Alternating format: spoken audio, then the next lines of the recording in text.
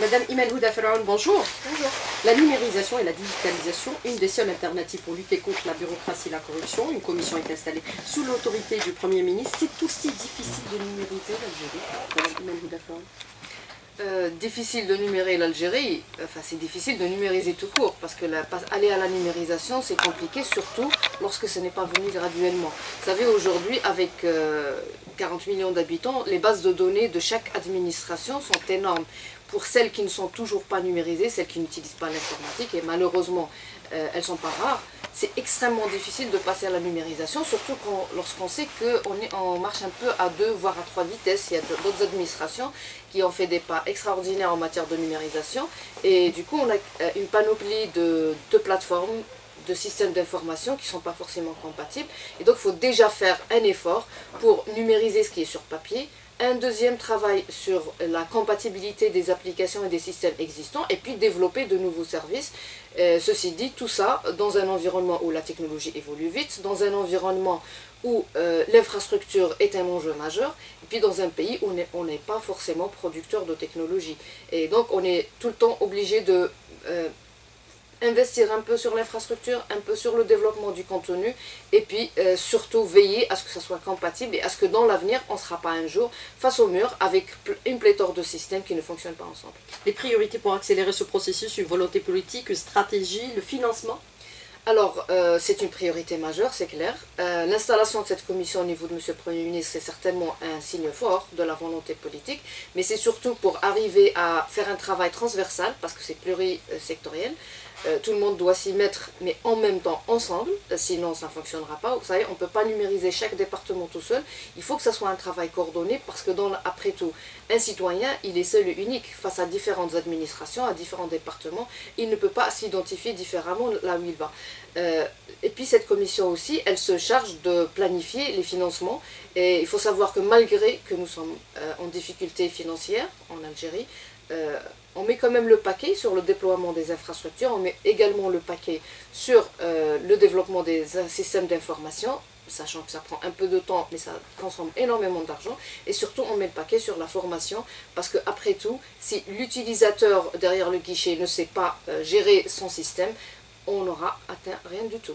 Mais qui doit coordonner toutes ces actions qui sont engagées actuellement? Est-ce que c'est chapeauté par le Premier ministre? Est-ce que c'est votre département ministériel? Et est-ce que vous avez, euh, c'est-à-dire réalisé des évaluations d'étapes pour savoir où est-ce qu'on est et qu'est-ce qu'on doit faire encore? Absolument. En fait, euh, la commission installée auprès du Premier, c'est un cadre de concertation gouvernementale pour pouvoir justement, euh, dire, traiter de la question financière, débattre certains temps sur quelques priorité pour être sûr que chaque département suivra en temps opportun.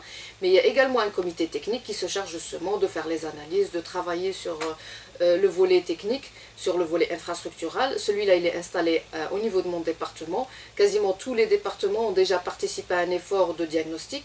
Euh, on a mis en place un référentiel national d'interopérabilité qui vient d'être édité et qui est en phase de validation par les différents départements et qui sera imposable par la suite à toutes les administrations, toutes les entités publiques, on espère bien sûr le privé aussi suivra, pour que tous les systèmes d'information déployés dans notre pays répondent au même référentiel. Et donc, avec le numéro d'identifiant national, le NIN, un jour, j'espère très prochainement, le citoyen pourra accéder à tous les services publics sans difficulté, sans devoir se, euh, mémoriser plusieurs euh, mots de passe, plusieurs comptes. Et en même temps, vu que le numéro d'identification nationale est lié au système biométrique, prochainement, probablement, on aura à s'identifier uniquement avec ces empreintes biométriques. Mais ce qui a été réalisé le plus, c'est au niveau de l'état civil par rapport à la numérisation de l'administration, au niveau du, euh, du ministère de l'Intérieur et des collectivités locales, ou alors il y a d'autres actions qui ont été engagées parallèlement dans d'autres euh, secteurs, par exemple l'éducation, la santé, puisqu'on parle du fichier de la santé, on parle de la e-éducation. Effectivement. Alors l'état civil impérativement, il devait de toutes les manières être le premier, parce que c'est là où le citoyen est identifié. Euh, maintenant, la deuxième étape, c'est justement d'utiliser cet effort-là, d'utiliser la résultante de cet effort-là pour les autres secteurs. Alors, il y a le, secteur de la justice, qui avait fait beaucoup d'efforts aussi, et qu'aujourd'hui, on est en train de travailler sur la jonction entre département de la justice, département des finances et département de l'intérieur. Parce qu'après tout, euh, le casier judiciaire d'un citoyen doit être identifié avec son ligne pour être relié dans la, suite à tous ces dossiers administratifs, notamment notamment sur le travail, pour la sécurité sociale, et l'assurance et tout le reste. Mais également le secteur des finances, parce que les impôts, vous savez, c'est le nerf de la guerre dans un État. Et si ce n'est pas lié euh, à l'état civil, si ce n'est pas lié aux, informations et aux bases de données des départements de la justice, ça va être difficile après de faire le point sur le paiement et le recouvrement des impôts. Et là, avec déjà une interconnexion, on va dire, un peu basique qui s'est déjà, déjà établie, on arrive quand même, le département de la justice arrive à recouvrir énormément de, euh, d'impôts qui sont euh, recouverts grâce à cette interconnexion avec le département des finances, mais il y a encore un travail justement qui vient d'être enclenché pour généraliser ça au niveau du territoire national, alors qu'aujourd'hui ce n'est qu'au niveau central. Euh, en parallèle, il y a le département de la santé, par exemple, où je peux citer l'effort qui a été fait pour développer la, la euh, la pharmacie centrale, le système de formation de la pharmacie centrale qui est en phase de déploiement maintenant pour l'ensemble des, établissements hospitaliers et qui va permettre de rationaliser l'utilisation des, médicaments mais également faire dans la prévention, euh, plutôt dans la prospection et donc peut-être faire face au problème du manque des médicaments alors qu'ils sont disponibles dans un autre, euh, dans un autre établissement. il y a également l'effort de déploiement de la télémédecine. C'est vrai qu'aujourd'hui on en est qu'au point de site pilote parce que ça demande une infrastructure déployée. Dans les années qui précédentes, on avait le projet était sur le déploiement de la fibre optique, ça prenait beaucoup de temps, c'était très contraignant, extrêmement complexe, et on, était resté justement au niveau des établissements pilotes. Mais aujourd'hui, avec le lancement d'Alcomsat 1 et sa mise en exploitation, euh, on a enclenché, on, l'a vu il y, a, il y, deux mois, je crois, enfin le mois dernier, au, niveau d'Adral, on a vu le lancement des sites pilotes satellitaires, et là, ça va prendre exactement 12 mois pour que le secteur de la santé soit doté intégralement euh, de la connectivité satellitaire pour la télémédecine et j'espère que ça résoudra au moins une, une catégorie des problèmes dont souffre, euh, dont souffre le, secteur de la santé. La même chose, le secteur de l'éducation. Euh, il y a plusieurs systèmes d'information qui sont déployés, mais qui ne sont pas forcément utilisables dans tous les établissements, parce qu'il y a un problème de connectivité qui va être réglé dans les 12 mois qui suivent avec la connectivité satellitaire. Alors avec la, numérisation, la volonté du gouvernement, et ça a été un peu réitéré par le chef de l'État récemment, lors du dernier Conseil des ministres, lutter contre la bureaucratie par ricocher la corruption qui entraîne aujourd'hui de miner l'administration algérienne, Madame Houda euh, alors, vous savez, les instructions du chef de l'État ont toujours été claires. Il fallait mettre euh, tous les moyens nécessaires pour moderniser l'administration avec tous les, toutes les retombées que ça donne. La plus importante, c'est de mettre le citoyen à l'aise, c'est de euh, s'assurer que la gestion financière soit rationalisée, mais également ça permettrait effectivement de lutter contre la corruption. Aujourd'hui, euh, il y a un, un avant-projet de loi euh, qui est au niveau de la PN, justement sur le sujet de la corruption. Mais en fait, vous savez, c'est tout est numérisé, la machine ne sait pas mentir. Mais numériser, c'est bien, mais interopérable aussi, parce qu'il faut confronter différents dossiers. Et ce n'est qu'avec ça qu'on peut avoir une vision claire sur toute la circulation de l'argent. Et à ce moment-là, je crois que la corruption, on pourrait, euh, ça pourrait être vraiment minimal. Alors les opérations commerciales, le paiement par carte, les délais différés, on n'enregistre pas beaucoup de retard déjà? Pour le paiement par la carte. Euh, en réalité, le système de paiement au niveau d'Algérie Post, il était prêt à courant va à plus ou moins dernier trimestre l'année 2017. L'année 2018, on a fait beaucoup d'efforts pour déployer, déployer, le paiement électronique. Il y a une pléthore de services qui ont été développés par Algérie Post pour le paiement en ligne. Il y a le projet de loi sur le commerce électronique qui, qui a été également défendu et finalement euh, promulgué. Mais euh, on était face à une problématique plus économique. Euh, les TPE, les terminaux de paiement électronique, c'est des équipements qui n'étaient pas fabriqués en Algérie, qui ne le sont pas massivement aujourd'hui non plus. Euh, on a euh, des millions de commerçants qui étaient obligés, et qui sont toujours obligés, de disposer de terminaux de paiement électronique. L'importation de tous ces équipements aurait posé un problème de taille il y a euh, la, devise, parce qu'il fallait acheter sur le marché international, mais il y a également le problème de la pièce de rechange et le problème des GAP que tous les Algériens connaissent. On est un excellent exemple. Vous savez, on a un parc aujourd'hui de 1300 GAP. Lorsqu'il y en a un qui est en panne, il faut acheter la pièce de rechange à l'étranger. C'est extrêmement complexe, surtout quand on parle de marché public. Alors, faire la même chose, la même erreur pour les TPE aurait été une erreur, peut-être une solution à court terme, mais une erreur à long terme. Donc, on a plaidé pour la production nationale. Aujourd'hui, il y a quelques fabricants nationaux qui nous suivent entre autres publics et privés. Euh, j'espère que les commerçants commenceront à se doter.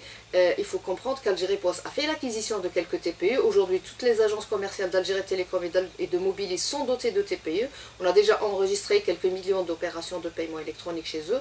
Euh, Sonelgaz, la CNAS, la CASNOS, toutes les, administrations publiques sont en train de suivre. Mais le privé devrait acheter ces TPE, pas forcément chez Algérie Post, il peut les acheter sur le marché. Mais le choix de Lini de Sidi Belabès pour la réalisation de ces TPE, est-ce que ce n'était pas un mauvais choix, une erreur? Madame Houdafran euh, Denis se sont présentés au niveau d'Algérie Post avec une offre de service au moment où Algérie Post avait fait son appel d'offres en disant nous on pourrait les fabriquer, donner nous quelques mois. Ça a pris un peu plus de temps que ce qu'il le fallait, je ne crois pas que c'était une erreur, mais euh, on n'a pas choisi le nid. Le nid est en train de fabriquer en intégration très partielle que j'espère euh, augmentera dans les mois qui suivent. Mais tout le monde, tous les agents, toutes les entreprises publiques et privées algériennes sont appelés à fabriquer les TPE.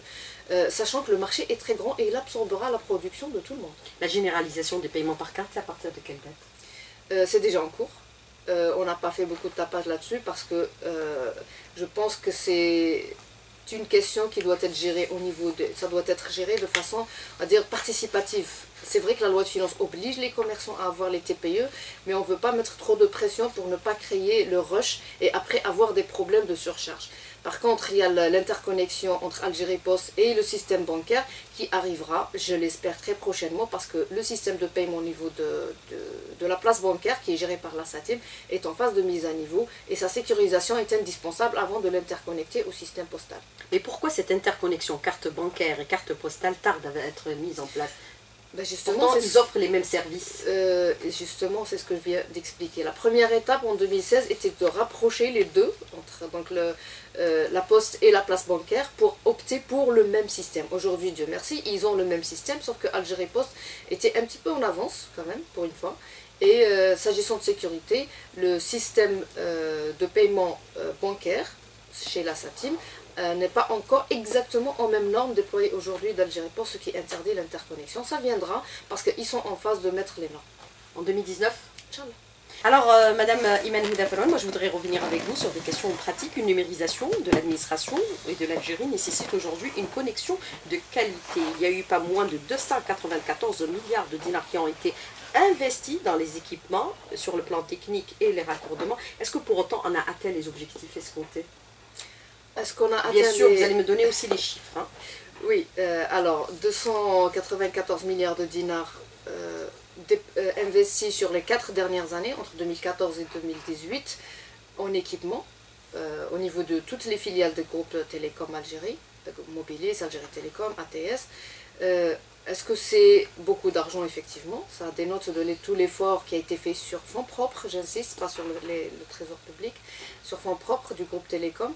Mais est-ce que c'est beaucoup pour les télécoms Pas du tout. Pour voir en regardant à quelle vitesse ça évolue, vous savez, pour, ne donner qu'un exemple, euh, la 4G a été déployée euh, vers la fin de l'année 2016, on a octroyé les licences. Deux ans avant, on euh, on n'avait pas encore généralisé la 3G.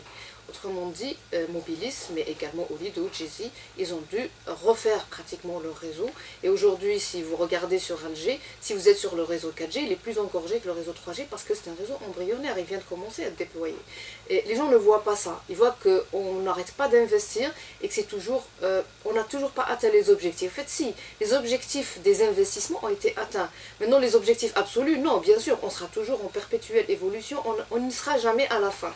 Dieu merci d'ailleurs, on investira encore et encore.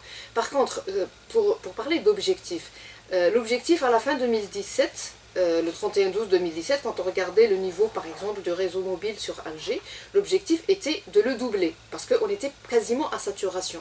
Le réseau n'aurait pas supporté plus de clients. Il y a eu les investissements qu'il faut, il y a eu beaucoup de densification, beaucoup de travail, beaucoup d'optimisation, beaucoup de travaux techniques.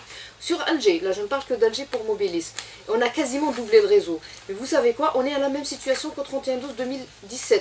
Pourquoi? Parce que la demande, et non pas le nombre de clients, la demande de chaque client a doublé en une année. Euh, le client qui regardait, qui utilisait son smartphone pour voir son email, aujourd'hui il l'utilise pour voir la vidéo. Tout le monde regarde de la vidéo tout le temps en streaming, tout le monde veut de la HD. Donc les besoins euh, augmentent. Euh, est-ce qu'il aurait, valu, il aurait fallu mettre un réseau quatre fois plus grand? Oui, effectivement, mais ça aurait demandé quatre fois plus d'investissement. Et il faut dire que les entreprises ont également de la ressource humaine à gérer, ils ont des investissements non techniques, ils ont de la fibre à déployer. Et l'Algérie, c'est pas Alger, c'est très grand, c'est extrêmement vaste.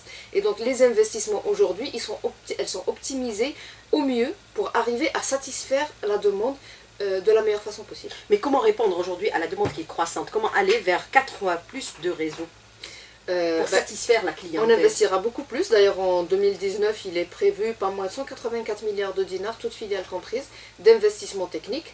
Euh, ça, je ne parle pas du, déploiement dans les zones enclavées qui, euh, seront supportées cette année par le service universel. Alors 184 milliards de dinars, je compte le déploiement de la fibre dans les zones encore non dotées. Je parle de l'assainissement du réseau urbain sur Alger, euh, parce que jusque-là, Alger n'a été touché qu'à quelques pourcents. Le reste du pays, par contre, on, a bien, on est bien avancé. On a assaini pas moins de 500 540 000, paires de cuivre. Euh, c'est quand même énorme, sachant que le parc total est, aux alentours de 3 millions de, clients. Euh, ça sera sur l'investissement également sur le FTTH, continuer son déploiement. Ça sera sur le nouveau câble sous-marin, la finalisation de la mise en place de l'Orval. Euh, ça sera également euh, sur le satellitaire. Et il y a encore des équipements satellitaires à acquérir parce qu'aujourd'hui avec Alcomsat 1, il ne reste que les stations terriennes. Ça sera sur un nouveau hub également qui sera mis en place probablement sur Alger. Euh, il y a énormément d'investissements qui seront faits, mais ça c'est pour parer à l'existant, mais préparer l'avenir. Maintenant sur le volet technique aussi, il y a les investissements non techniques qui seront de l'ordre de 23 milliards de dinars, au plus de la moitié ça sera sur la formation de, des employés existants, mais également sur la préparation de la nouvelle génération, parce qu'il ne faut pas oublier que le turnover dans ce secteur est énorme. Dès que quelqu'un arrive au stade senior, généralement, il part. Mais êtes-vous satisfaite actuellement de la qualité de la connexion? Non. Euh, satisfaite de la qualité, j'espère bien ne jamais l'être, parce qu'une fois qu'on est satisfait, on arrête de travailler. Par contre, là où je suis satisfaite et entièrement, c'est euh, de tout l'effort qui a été fourni par les jeunes euh, employés du secteur. Et honnêtement, je leur rends un grand hommage parce qu'ils ont réalisé certaines choses qui sont loin d'être visibles par le public, mais qui sont extraordinaires. Améliorer la connexion est-elle votre priorité aujourd'hui, Madame Iman Au-delà, bien sûr, euh, des investissements qui sont réalisés euh, par tous les opérateurs, hein, sans exclusion. Écoutez, c'est la priorité de tous les opérateurs et pour, le souligner encore plus, dans un, dans un contexte, on va dire, un peu politico-économique, on n'arrête pas de dire que la priorité des télécommunications est aujourd'hui le développement des startups et des, des services à valeur ajoutée. Moi, j'arrête pas de leur dire à tous les experts, oui, c'est bien de développer les services à valeur ajoutée. Je suis désolée, euh, il faudrait savoir d'abord déployer l'infrastructure. Les services se déploieront d'eux-mêmes, on l'a vu partout ailleurs. Euh, on n'a pas besoin d'apprendre aux gens à utiliser les télécoms, on a juste besoin de leur mettre à leur disposition. Mais qu'est-ce qui est fait aujourd'hui pour assurer aussi un raccordement de la fibre optique euh, dans toutes les localités du pays, à travers toutes les régions, de façon équitable et de façon mesurée, comme cela se fait au niveau des grandes villes? Alors, en réalité, le plan d'investissement, le plan de déploiement de la fibre optique d'Algérie Télécom a visé plus les zones rurales et les zones de l'intérieur du pays que les zones urbaines. C'est vrai que les zones urbaines souffrent encore, il y en a encore besoin de fibre, avec les nouveaux pôles urbains qui se développent, avec les, nouveaux programmes du département de l'habitat qui, très, très, vont très très vite, à un rythme très accéléré.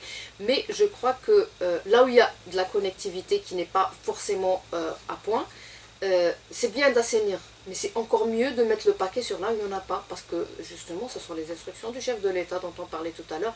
Tous les citoyens sont égaux, on doit déployer la connectivité pour tout le monde. Vous avez vu certainement tout au long de l'année qu'Algérie Télécom a déployé des milliers et des milliers de kilomètres de fibre optique dans les montagnes, dans les zones arides, dans les zones où il y a moins de 1000 habitants.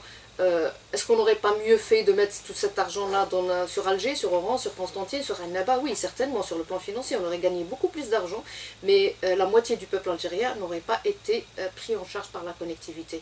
Donc il faut faire la part des choses, et j'espère qu'avec tout l'effort de formation, toute l'intégration des nouveaux jeunes au niveau d'Algérie Télécom, j'espère qu'on arrivera à répondre aux deux objectifs en même temps. C'est un peu ce qu'on est en train de faire, déployer de nouvelles connexions, assainir celles existantes, et j'espère que le rythme ne fera que s'accélérer. je compte bien sur les jeunes d'Algérie Télécom. Les câbles sous-marins aujourd'hui renforcés, le projet Orval, système de sous-marins à fibre optique euh, reliant Alger, Oran à Valence, euh, est-ce qu'on peut considérer que tous ces projets sont en état d'avancement assez appréciable? Vous l'avez annoncé pratiquement pour la fin de l'année, là on parle d'un décalage pratiquement pour le mois de mars ou mois de mai, c'est le cas ou pas le cas? Il euh, n'y a pas de décalage. J'ai annoncé pour la fin de l'année et effectivement ce que j'ai annoncé a été réalisé. Les deux, donc le système Orval-Alval et le système MEDEX, sont aujourd'hui déployés, chose qui, était, qui relevait quasiment du miracle. Vous savez, pour les MEDEX, euh, on était, euh, on va dire à la dernière seconde et pas à la dernière minute, on aurait pu ne jamais pouvoir se raccorder à ce système qui était déployé sans que l'Algérie n'y adhère. On a adhéré à la dernière minute. Et, là, on a raccordé à Naba, le câble est en place, les infrastructures sont en place. Et si vous allez à Sidi Salem, vous, trouverez les jeunes d'Algérie Télécom en train de tester le système d'énergie. Pourquoi ça prend du temps? Parce que c'est un système qui est déjà fonctionnel. Et donc, pour tester l'énergie, il faut l'accord de tous les pays qui sont déjà raccordés à ce câble pour ne travailler que pendant quelques heures par semaine. Et donc, une fois les tests d'énergie terminés, on commencera, Inch'Allah, à la fin du mois, les tests effectifs de la connectivité. Mais comme s'il s'agit d'un système qui gérera des millions de personnes, euh, il faut bien prendre le temps d'être sûr que ça fonctionne avant de le mettre en service officiellement. Et ça sera, Inch'Allah, fin février, début mars. Pour l'Orval, le système est déployé. Les trois stations Alger, Valence, Oran sont réalisées, sont en service.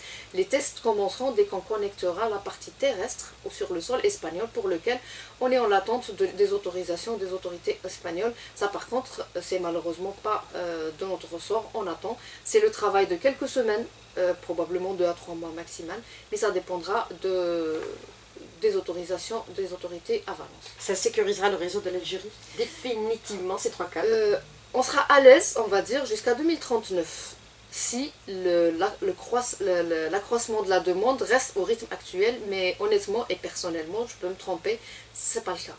Euh, l'accroissement de la demande aujourd'hui, c'est du simple au double au bout d'une année. Je crois que d'ici deux ans, ça sera du simple au triple, voire au quadruple dans quelques mois. Et donc ces câbles-là nous permettront d'être connectés doublement. Et donc à l'aise, sécurité, ils ne se, couperont pas les deux en même temps, ça, serait vraiment du sabotage, ça n'arrivera pas. Par contre, euh, sur le plan capacité, on sera à l'aise jusqu'à peut-être 2025, 2022, si on est un peu pessimiste, mais il y a déjà des investigations par le groupe Télécom pour chercher d'autres voies terrestres et maritimes et je pense que euh, honnêtement l'Algérie sera vraiment l'aise sur le plan euh, câble sous-marin si on a 4 à 5 câbles opérationnels en même temps, mais vous savez, on n'est pas les seuls. Euh, il y a entre 2025 et 2030, quasiment la totalité des câbles sous-marins dans la région méditerranéenne seront en fin de vie. Mais est-ce que vous êtes en train de mettre en place une stratégie de façon claire pour développer aujourd'hui euh, Internet en Algérie? Avec toutes les prestations inhérentes Écoutez, la stratégie... Développer aussi le contenu. alors, pour parler d'abord d'infrastructure, il y a les câbles sous-marins, on vient d'en discuter. Il y a le, le, déploiement du backbone, il a été mis à niveau. Euh, il y a le dernier kilomètre qui est en phase d'être géré. On a opté pour le FTTH, on a fait beaucoup de formations. Et sur le plan réglementaire, on a ouvert au privé que malheureusement ne se bouscule pas. Peut-être bonne nouvelle, la fin de la dernière semaine, il y en a un qui a fait un courrier pour dire voilà, moi je veux l'ouverture de la boucle locale. Je le mets en contact avec les équipes techniques pour commencer probablement à faire un success story. Et là, j'appelle encore une fois les privés. La boucle locale, c'est intéressant, mais investissez dans la fibre optique. Euh, il y a autre chose qui manque, c'est les réseaux métro, c'est-à-dire la gestion entre le backbone et le dernier kilomètre. C'est une zone qui a été très oubliée au niveau d'Algérie Télécom, mais aujourd'hui les investissements techniques sont en, euh, en place pour la mettre à niveau. Et je crois qu'avec tout ça, on verra vraiment le problème de la connectivité fixe réglé en Algérie. Mais pour un peu améliorer les prestations de services, est-ce que c'est dépendant aussi de l'ouverture du capital des entreprises aujourd'hui en activité? Les entreprises publiques, à savoir Mobilis, Algérie Télécom, est-ce que c'est envisagé ou pas du tout envisagé? Est-ce qu'on peut améliorer la qualité en ayant un seul opérateur euh, de téléphonie, Madame Imen euh, Non, on, peut avoir beaucoup d'opérateurs. Je pense qu'on doit avoir plusieurs opérateurs, mais je ne je pense pas du tout, mais pas une seconde, que pour ça, il faudrait ouvrir le capital du groupe Télécom ou de l'une de ses filiales. Le groupe Télécom, c'est exclu. Je crois qu'il fonctionne très bien, il est optimisé, encore mieux maintenant avec la consolidation de toutes les filiales en un seul groupe. Euh, pas question d'ouvrir son capital, d'autant plus que les télécoms, j'y crois, crois dur qu'en faire, c'est la souveraineté de l'État. Il est impératif de disposer d'un outil fort de l'État. Je veux bien que le privé investisse. Aujourd'hui, on a même des étrangers. Vous savez, les principaux opérateurs de télécom mobile, c'est des étrangers. Et on est ouvert, on n'est pas euh, fermé à l'investissement, les capitaux étrangers. Au contraire, on les appelle. Par contre, l'État doit disposer de son outil public euh, à 100% public pour faire face à toutes les aléas. Les télécommunications, c'est l'avenir de l'économie et l'économie, c'est le nerf de la guerre de l'État.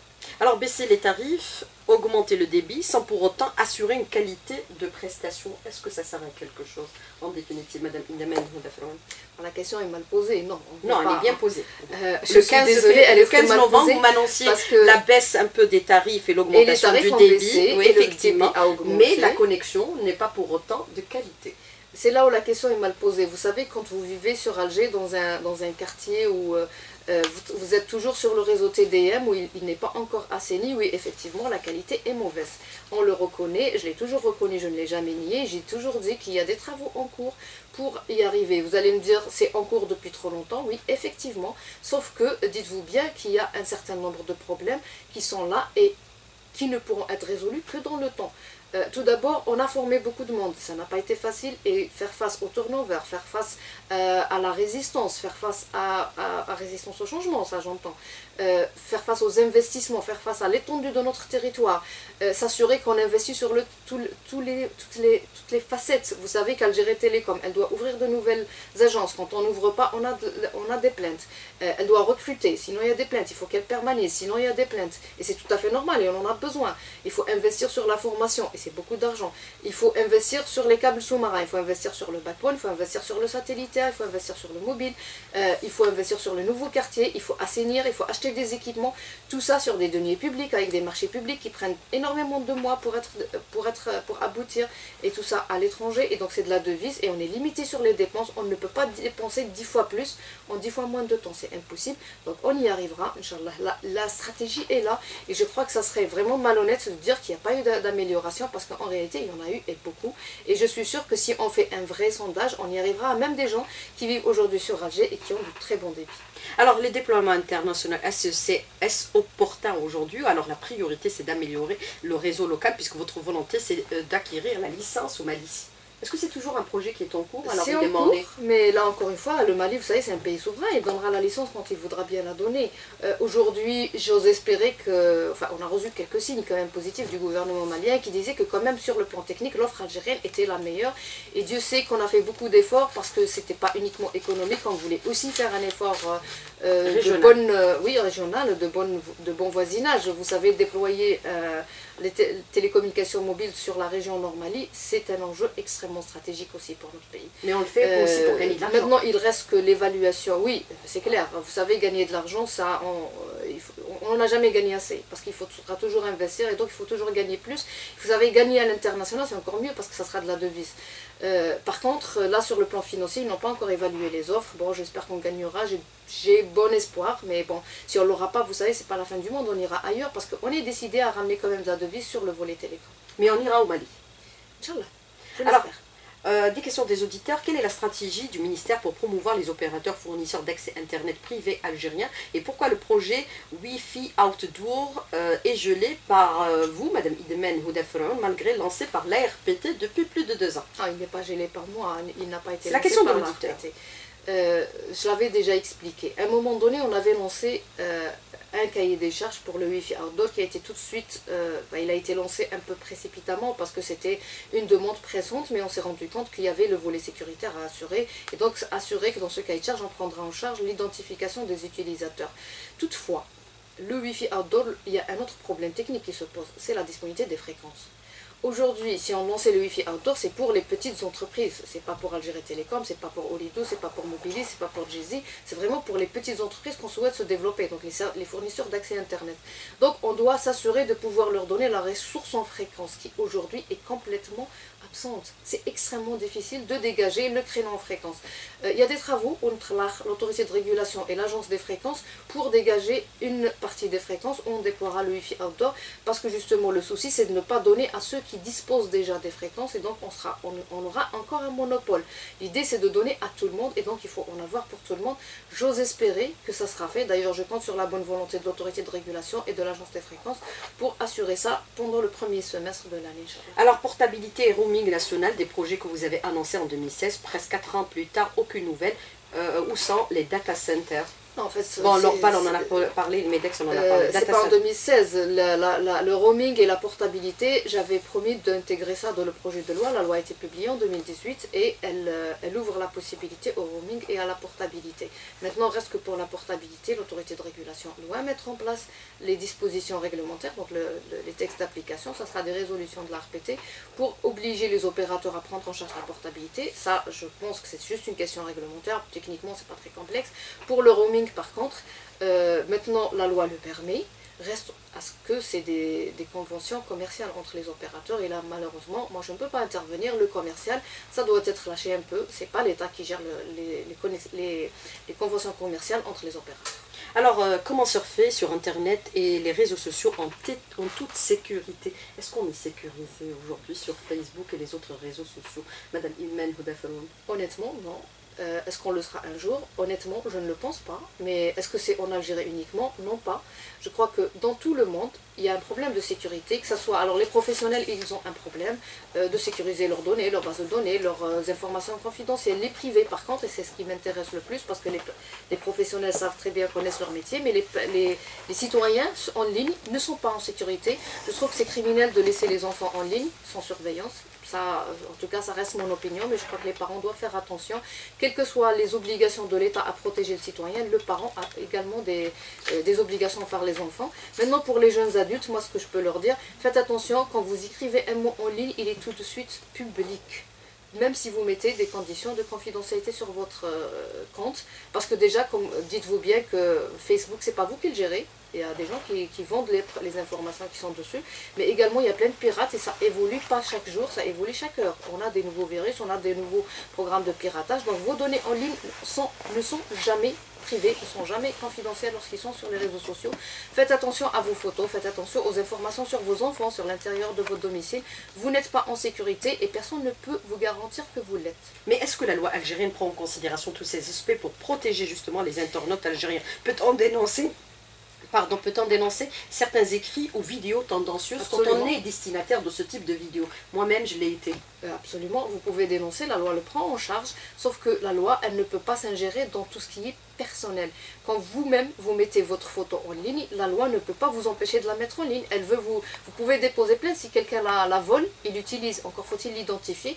Aujourd'hui, c'est extrêmement difficile, malgré que nos brigades techniques de, de les services, tous les services de sécurité compris font un travail excellent, mais c'est extrêmement complexe parce que les pirates, parfois, ils ne sont pas forcément algériens, ils sont pas forcément en Algérie. Même lorsqu'ils sont en Algérie, y a énormément de techniques Mais on peut leur- déposer plainte. leur per- on peut déposer plainte et j'encourage tout le monde à le faire parce que ce n'est que comme ça qu'on dissuadera les plus virulents. Mais comment protéger aujourd'hui les données euh, personnelles de façon concrète? Qu'est-ce qu'il y a de faire? Est-ce que vous prenez en considération aujourd'hui ces aspects juridiques qu'il va falloir mettre en place? Les aspects Puisqu'on juridiques, l'a vu à travers le monde, Facebook a dévoilé, il a vendu même certaines données aux opérateurs économiques. euh, vous savez, les aspects juridiques sont en place. Et on est, euh, juridiquement parlant, on est protégé. Mais par contre, il va falloir que les gens comprennent que lorsqu'on le dit, n'utilisez pas les réseaux sociaux à outrance, ne les utilisez pas pour les, informations personnelles. On n'est pas en train de limiter la liberté des gens, on est juste en train de les protéger. Faites attention, ce n'est pas sécurisé et Facebook n'est pas hébergé sur le sol algérien. Autrement dit, pour intervenir et retirer des données, c'est pas euh, de l'apanage des autorités algériennes, c'est la coordination internationale sur lesquelles seuls les crimes reconnus comme de terrorisme qui permettent réellement le, le retrait des contenus. Pour tout le reste, c'est extrêmement complexe, ça dépend des bonnes volontés des États. Et généralement, l'hébergement n'est même pas dans l'État. Par exemple, Facebook, c'est américain, mais ces données ne sont pas aux États-Unis. En réalité, personne ne sait où c'est. C'est un peu partout dans le monde. Madame Imen Houdaferol, merci d'avoir répondu à nos questions et d'avoir été en direct avec nous ce matin dans le studio. Merci beaucoup. Merci Bonne vous. journée. Au revoir.